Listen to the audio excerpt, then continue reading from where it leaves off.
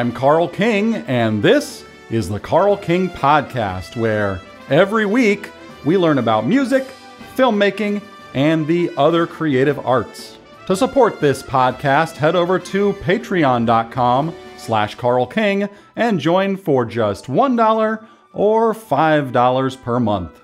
Or send a tip through PayPal or Venmo to username Carl Kingdom. Special thank you to my illusionist $51 level patrons, both Hank Howard III and Chubode. Quick shout out to my music endorsements Vienna Symphonic Library, Fractal Audio, Ernie Ball Strings, Toontrack, and Millennial Media. Now, let's get this episode beginned. Just a few Carl King the Human updates, and then we will officially get beginned.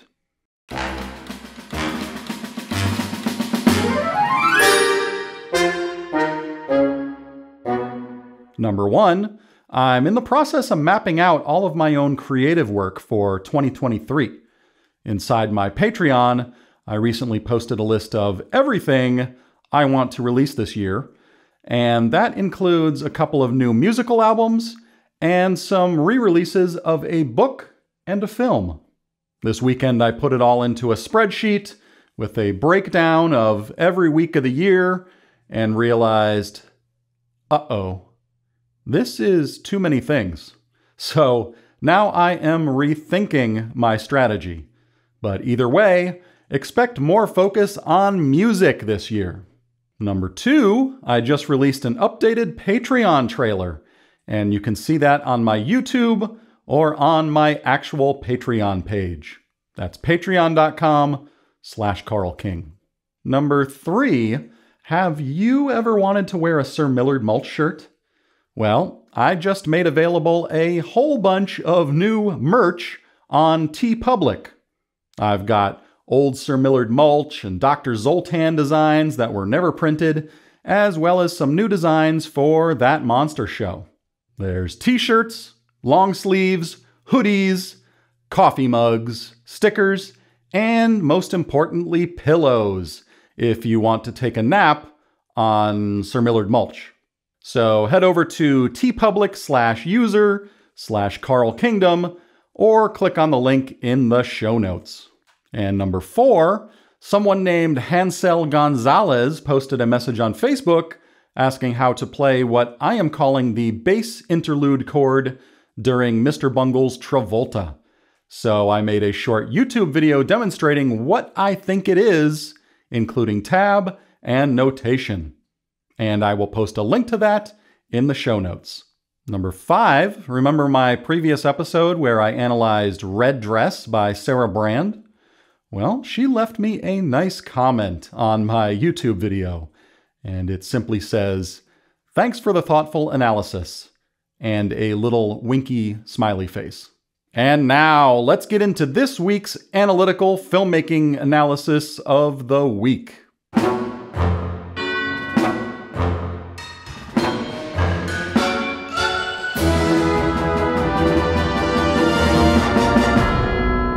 This week's analytical filmmaking analysis of the week is Tar, directed by and screenwrited by Todd Field and starring Cate Blanchett from Thor Ragnarok.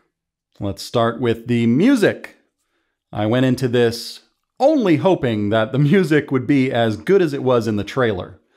I was led by my own imagination to believe that this was a film about a noisy orchestral composer. Unfortunately, that piece of music is only used briefly in a single scene. It's by a composer whose name I can't properly pronounce, but her first name is Anna, and the last name is spelled T H O R V A L D S D O T T I R. So I think that's Thorvaldsdottir? Thorvaldsdottir? I'm sorry. The piece of music is called Row and as far as I know, there's no relation to Chris Higgins. And it has those prepared piano bangs and creepy string and woodwind sounds. It's a really cool piece of music, in my own subjective opinion, and I will put a link to it in the show notes. Now, Tar is a film loaded with classical music and music theory jargon, so I was kind of proud of myself for understanding it. I believe the players in the orchestra were legit classical musicians instead of actors. And I think only Tar's partner, the concertmaster, was acting. And aside from her vibrato, it was mostly believable. There are some performance shots where her bowing is pretty darn good. So we've come a long way since Ralph Macchio faked his guitar playing in the film Crossroads. Let's talk about the structure and ri- What the f- yeah, Tom Cruise landing his helicopter on my building again. Now, let's talk about the structure and rhythm. The film begins with a candid 30 second shot, and it's Lydia Tar sleeping on a plane. And there's no context for a scene like this. So, this film is going to require us to do some work. And that is followed by four minutes of intro credits. There's a tiny typeface, white over black, and it's mostly the crew rather than the cast. I don't know who has ever put the entire VFX crew credits up front in a movie. I had the thought, is this whole movie going to be backwards? Well, the first actual scene is a roughly 11 minute interview with a New Yorker writer. And that's unusual, isn't it? So much for all those rules they teach in screenwriting classes. The theme here is addiction to status and addiction to power. So rather than a rise to success and fame, this film follows Lydia Tar's slow descent into destruction. Let's talk about the character and acting. It's revealed that Lydia Tar is not her real name. She has actually altered her real name and even added a pretentious accent over the A to appear more exotic. Her character is obsessed with and imitates composer Leonard Bernstein, going so far as to sit alone at home and imitate one of his album covers in the mirror, and even having one of his exact shirts remade so she can wear it exactly as he did. She's literally trying to become him. And that makes me wonder if Lydia is a reference to the Lydian mode famously used in Bernstein's West Side Story. She constantly drops cultural and literary references to peacock her status and sophistication, and it is exhausting and reminds me of some people I've met. I was amused by her bizarre mannerisms when she's trying to center or reset herself. Like when lighting candles, she does a little ritual, this whispering sound. And when composing at the piano, there's this brush off the shoulders and waving her fingers in front of her nose behavior that she also did just before going on stage with the New Yorker interview. I'm assuming that these are behaviors stolen directly from Bernstein, and you might notice whenever she doesn't like someone, she calls them a robot. Now, why is that? And this comes up again and again, and I wonder what the creative source of this was. We don't know yet, but probably my favorite acting of this film was by Nina Hoss, who plays Lydia Tar's wife. Her silent reacting to interactions between Lydia and the young cellist. It shows she knows exactly what's going on between the two of them. Now let's talk about the cinematography. That scene at Juilliard with the bouncy leg pan-gender student is a single long take. I think they used Steadicam because part of the way through, it's likely the operator went down those stairs at the front of the stage. And that scene is 10 and a half minutes of flawless execution. And during that, Tar so obviously thinks she's Bernstein. If you've ever seen his lecture series Tar talks exactly like him, and it comes off as unbelievably pretentious. Now let's talk about some of the storytelling choices that were made. There is a story of a scandalous affair and a suicide going on in the background. Now, in any other film, that main action of the story would have been followed as it was happening, in the now. But we never actually witness it because the camera wasn't there. We never even meet the girl that Tar destroyed. We only see vague, abstract, dreamlike flashbacks. So we don't see Krista Taylor's face, only her hair. And it's a clever way to go about it because it mirrors Lydia Tar's efforts to block the girl out of her consciousness. So, as the viewers, we experience it from the perspective of someone repressing memories. So, the narrator is in denial. And there are other mysterious bits of information we have to put together ourselves, as they are never overtly stated with dialogue. First of all, Tar is stealing and abusing her wife's beta blockers for the purpose of lowering her adrenaline. And I didn't put that together until a repeat viewing. Second, it's never explained, but I think that Lydia's wife must have stolen the performance score of Mahler's Fifth. So her wife was already making moves to remove Tar from her life. Third, why did we need that scene with the neighbor? Well, maybe because it shows how uncomfortable Tar is with humanity, suffering, old age, and even death. Was this related to her past? Did something similar happen to one of her parents? Maybe her dad? And fourth, during that scene where she tosses all of her Mahler vinyls onto the floor, who was in the room with her? We only see feet. Well, I'm assuming it was one of her affairs. Maybe even Krista Taylor. These mysteries are set up in the same way that Obi Wan Kenobi briefly mentions something called the Clone Wars in A New Hope, but then never explains it. And many argue it should have been left that way. So the filmmakers here have created a complex character in Lydia Tar. They show us barely enough, and as viewers, we want to know more.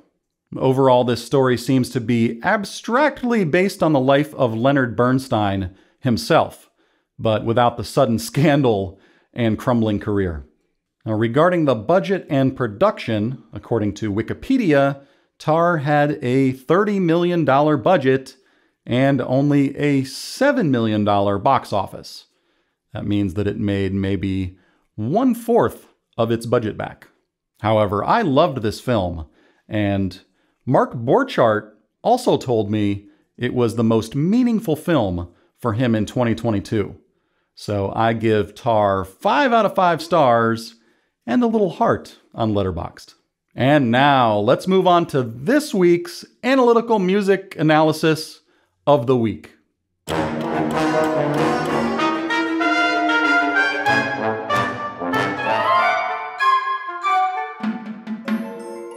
This week's analytical musical analysis of the week is Steve Vai's Greasy Kid Stuff from his 1991 album Passion and Warfare. Coincidentally or not coincidentally, my favorite album of all time. A little bit of trivia I discovered there are many songs called Greasy Kid Stuff. Even They Might Be Giants wrote one. And from what I can tell, it's a reference to a hair product possibly generic, used in the 1950s.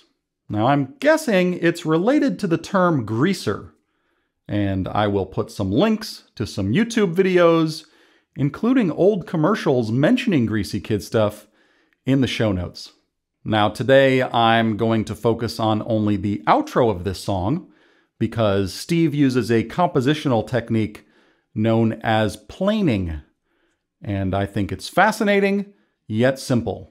But before I explain what planing is, let's talk a little bit of basic music theory. In a major key, like C major, you have seven notes C, D, E, F, G, A, and B. And for each note, there is a simple triad or three note chord built on it. Now, how do we do that? To build a triad on C, you play C, and then skip the letter D, and play E. Skip the next letter F, and play G. So you have C, E, and G. And that is a C major triad. If you do this with each of the seven notes, it will sound like this. C, D, E, F, G, A, and B. That's seven triads, one built on each note of the scale.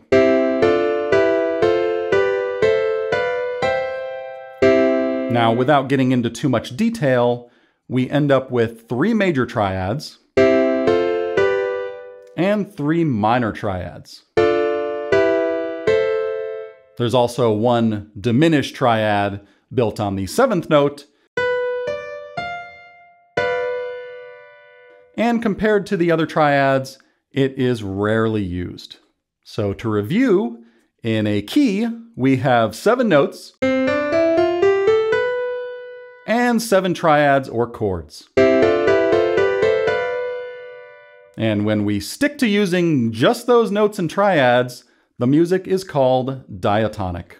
But what would happen if we make all of those triads major?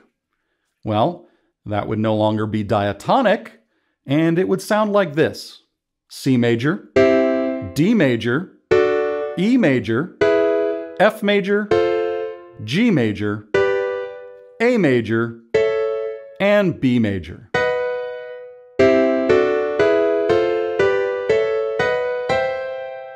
Now for extra credit, you can try making them all minor and see how that sounds.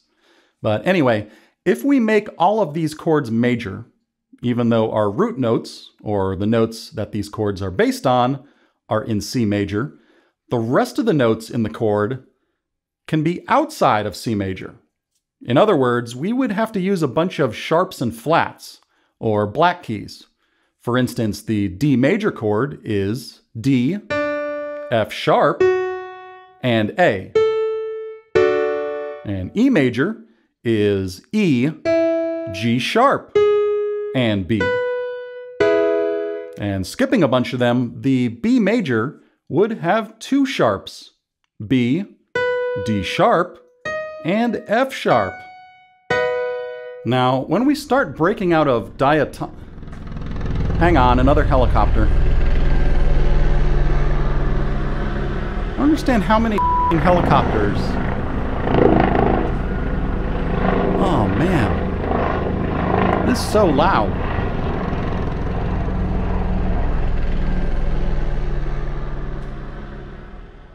Okay. Now when we start breaking out of diatonic, in this case, the sound becomes chromatic. And that would mean using all 12 of the notes instead of just 7. Now, when we go up or down in pitch with all the same chord shape, such as all major or all minor, all of the voices are moving in parallel motion. So on a guitar, you would see it's all the same chord shape moving up and down the neck. And that is called planing, also called parallel harmony. Now getting back to the outro of Greasy Kid Stuff, this is exactly what Mr. Vai is doing. This outro is played sort of in the key of A, with three sharps, and those would be the notes A, B, C sharp, D, E, F sharp, G sharp, and then A again. But we find out quickly it's not just in the key of A. It's only in relation to the key of A because the rhythm section is holding down an A note and Steve is moving parallel major chords or planing over the top of it. He's using layers of guitar harmonies to create tension and release, or maybe just tension. We don't know yet. So let's dig into the analysis of the outro of Greasy Kid Stuff. He starts with an F major chord over that A. And by the way, this is that classic outer space mediant chord relationship that people like Devin Townsend use all the time. And then Steve goes up chromatically from F major to F sharp major to G major. And we can hear where he might be going next. He works his way from G major to G sharp major and lands on A major. Notice that at this point, the guitar harmonies and the bass note are now both playing A major. They're back to their home base. And Steve reinforces that A major sound by playing a little fill with the notes E, F sharp, and G sharp. And those would be the scale degrees 5, 6, and 7. So they are sort of jazzy notes to emphasize, but that's okay. And for the next phrase, it gets very tense. And he goes into outer space because he uses these major chords C sharp, B flat, B, G sharp, A, and B flat. Now, notice the sequence there in those first four notes of that phrase. It's three half steps down, one half step up, three more half steps down, and one more half step up. And that is the basic pattern of the diminished or octatonic scale. And then he goes up to A and B flat. The next phrase, continuing on that B flat, goes B flat, B, C, C sharp, D, D sharp, and E. And those are all chromatic half steps going up. It is getting extremely chromatic and tense at this point, but you can still hear that A is hammering away down there in the rhythm section. For the next phrase, he uses these major chords moving downward F, D, E flat, C, C sharp, B flat, B, G sharp, and F.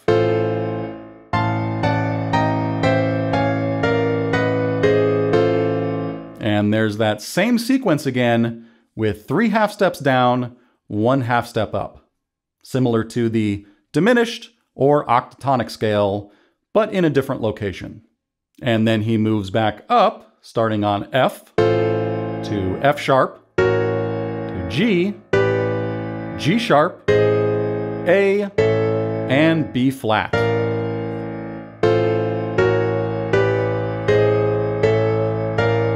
And that sequence here is again all chromatic half steps.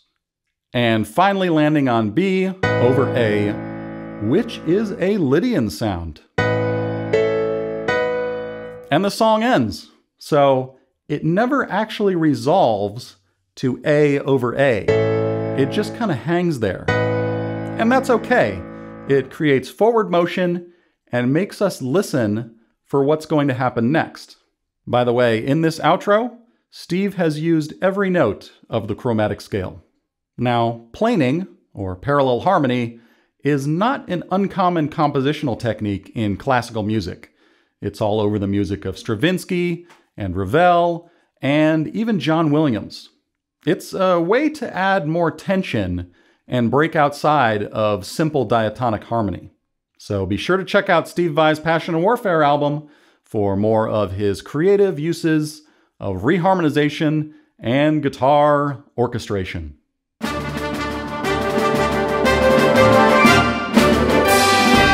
Okay, that's the end of this episode of the Carl King Podcast. Remember to subscribe on Spotify, Apple, or anywhere else you listen to these dang podcasts. And support the creation of more episodes by joining my Patreon for just $1 or $5 a month. That's patreon.com slash Carl King. or send a tip through PayPal or Venmo to username Carl Kingdom. And as always, special thanks to my $51 a month patrons at the special illusionist level, Chubode and Hank Howard III. And thank you to all of the very good friends of Carl King for listening. And as I always say, okay then, I will let everyone know